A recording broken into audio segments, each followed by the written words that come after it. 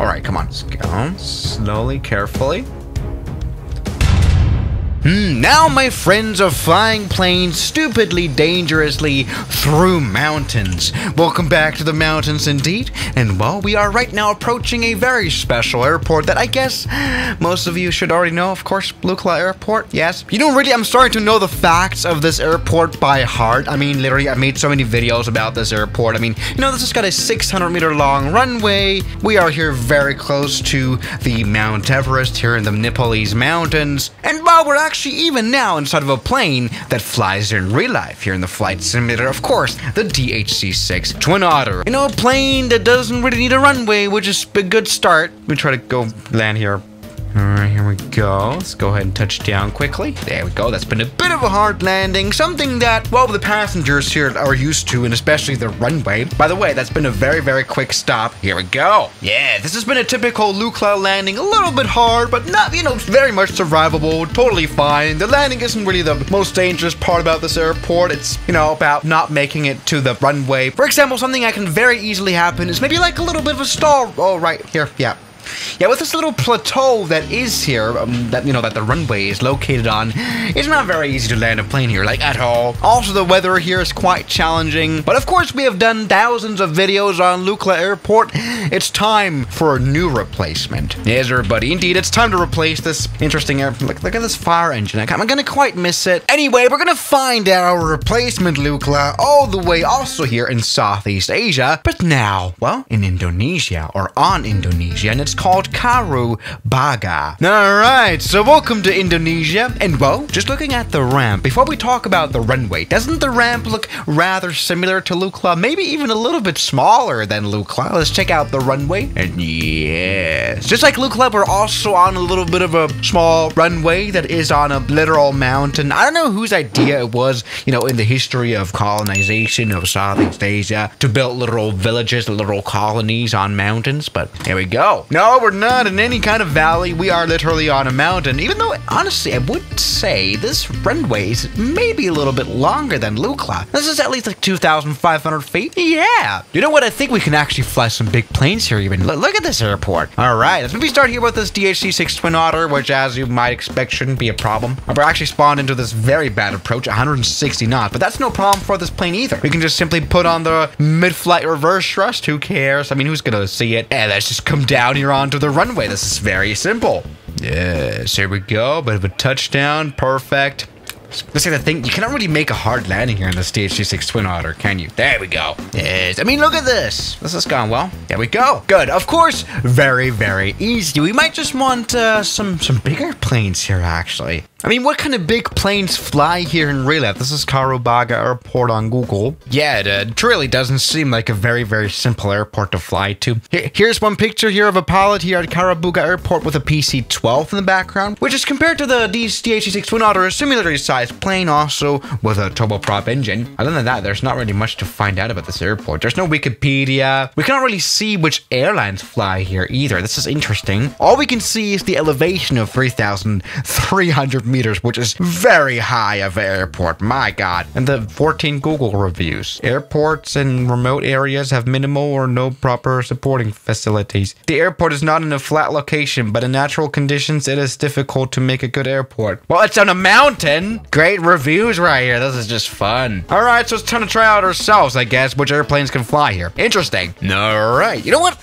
Let's go ahead and actually start with something a little bit spicy. Welcome aboard the CJ4. Says now it's a, it's a jet. A plane that could never really fly at Lukla, I guess. But let me try it out here at the Indonesian version of Lukla. Here we go. Let's release the parking brake. Fire off down the runway. And damn, this is actually quite a bit of a slope indeed. Yeah, I'm not quite sure. I'm, I'm, I'm, I'm hoping the runway doesn't really look like this in real life. There's some really, really sharp, like, bumps. Oh, goodness. Okay, there we go. That's been a takeoff. You know, this actually kind of slope runway here that we have here at this, uh, what's, what's this called again? Kapkarubaga Airport. You know, kind of helps increase the performance of the aircraft generally, taking off or landing. Maybe try a landing actually as well. You know what? For a jet, this is actually going quite well. Yes. Maybe this is not only the Indonesian version of Lukla, but also a little bit of more, you know, accessible version of Lukla. Go give it a bit of power. Okay, here we go. Yes. Oh. All right. All right. That's been a bit of a landing. Let's go and stop again with the sloped runway. It does really help. Here we go. We are stopping quite nicely here, running up the mountain. In fact, it's really important now to not go for a full stop. Otherwise, you're not actually going to make it up the mountain, right? Here we go. Yes. Give Given a little bit of power. This has gone very well here. All right. So Karabuga Airport or whatever it's called is private jet approved. Give it a bit of a replay here as well. This landing, it hasn't even been super hard. Not like a carrier landing where everyone on board would just like dive a whip slash. This has gone well. Here we go. All right. Maybe, yeah, start some jet airliners. Who cares after all? Alrighty. Maybe it's time to try this plane right here, the crappy regional jet. Now, full concentration is needed. Let's maybe try to make this. Not quite sure. Yeah. All right. Let's make sure not to stall out before the runway starts. That's very important. Okay, that's been a hard landing. All right, here we go. But that's been a landing, and we are actually... Wait, no, we're stopping. We're stopping, and we don't even use reverse thrust. Yes! Everybody, I'm starting to really like this airport. You know, I actually do see this slope is actually quite a lot harsher than Lukla, which is why these planes are stopping so quickly. Here we go. Let's try a bigger one. This is actually apparently no problem at all. Let's go. What am I doing? Great. Alrighty, Airbus time. May 320 time, which is always a great time. You know what? I'm starting to realize this is probably not a very good idea. Anyway, let's do this. It's coming down now onto this runway. This will be a great one. I would hope. I would guess.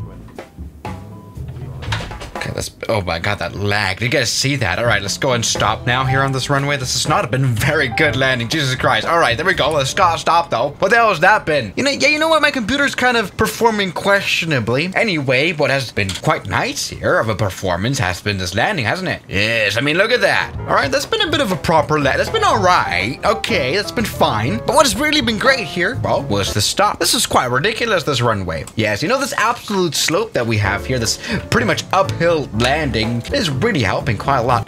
Oh, sorry, just crashed. All right then, maybe it's time to try a bigger plane. I mean, what? This is this is kind of crazy, isn't it? Yes, everybody. Alrighty, so this is the 787, a plane that can practically fly around the world. So yes, if we're able to land this plane down here on this little runway, then that would mean that we could fly around the world, probably maybe like from Amsterdam with a direct flight just to this airport. I mean, how about that? I mean, I can imagine you can fill up this plane with like many 300 people just to go here. This would be a perfect idea. Maybe you could even, you know, use this airport as a bit of a hub, you know, or maybe like a pilot training hub or something like that. Anyway, let's maybe try to come in for a bit of a landing. We're a little bit fast, but this will be totally fine. Here we go. This is practically now an enormous runway, isn't it, after all? All right, come on. Let's go. Slowly, carefully.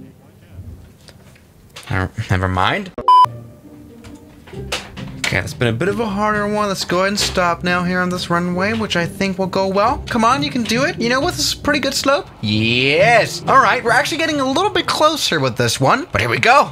this is just absolutely ridiculous. Great. I don't even know what to say, man. Well, you know what? This is either proof that, well, we can actually both, you know, serve this place from around the world with airplanes, or that the flight simulator's physics are not quite realistic. I mean, look at this one. Bit of a hard landing, you know, maybe not something would do any every every day with this one. But there we go. This has been a very, very nice stop. We stopped very much nicely. We go. Nicely used that runway, which is quite interesting because, you know, if we were trying to turn to the left now, then we're going to crash into that building. But that's another story. This has gone very well, hasn't it? All right. Triple seven, which basically has the performance of a elephant. You wouldn't land this plane on short runway. Let me just say that. Anyways, maybe try the absolute limits of this elephant indeed. Land it down here. Come on. All right, let's come in for, for a bit of a landing. Come on. All right, let's pull up all the way. Oh my god, let's not crash again. Okay. That's been a stop. Okay, that's been a bit of a hard landing. Let's go ahead and stop all the way into the brakes, into the hammer. Oh, goodness. Yes. Are we stopping, though? Do you have to be kidding me? All righty. What a great operation. I mean, seriously, how did this just work? I mean, we kind of broke the landing gear, I think, on that impact. I think we didn't even land on the runway properly. Right, a bit of a grass right there, but that's no problem. We've stopped, is kind of the point, isn't it? Yes. Look at that. And a nice stop here as well. Good. Almost hit that building here as well. The problem really here is the building indeed, isn't it? Ah, I, I might just get around it. That's that's fine. Oh, never mind. So yes, everybody, landing absurdly large planes here in this Papua airport. This is Swiss Air 1 approved. Maybe Karubaga Airport has what it takes to become the next Lukla. So yeah, guys, thank you so much for watching today's video, and I'll see you guys tomorrow as always. Good night. Now, thank you to all my members here on YouTube like Spice, Robbie, Middle Aged, Levi, Junk in the Trunk, Mubarak, Darren K, Oh Man, Moritz, John, Kelly Chaos, Death Rider, uh, Ragings, Noah, Yes Aviation, British 001, Saturn, Cat, Suno, Shadow, New, New York, and Jackie Boy.